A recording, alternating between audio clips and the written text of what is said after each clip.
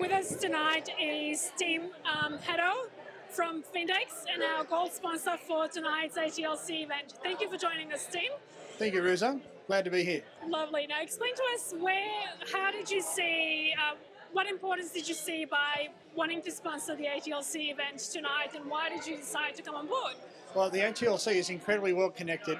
It knows a lot, a lot of that, a lot of that, I suppose, key players, and works with a number of you know very, very, very respected organisations.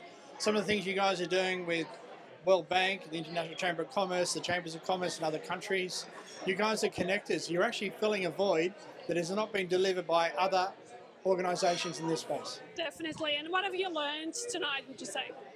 Well, I've learned that coming out of lockdown, everybody is really keen to connect. Yeah.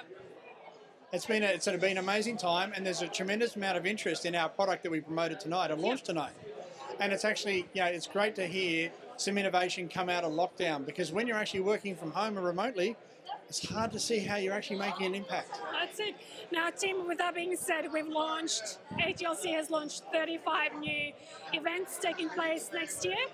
Do you see any value in that? Oh, absolutely. We're going to be involved in those as much as we can, connecting. Because you remember, Findex owns the Crowe Network, uh, the Crowe Network in Australia and New Zealand, and Crowe is an international accounting firm. Yep. So we have connections and relationships in pretty much every country that you're actually working with and promoting and driving next year.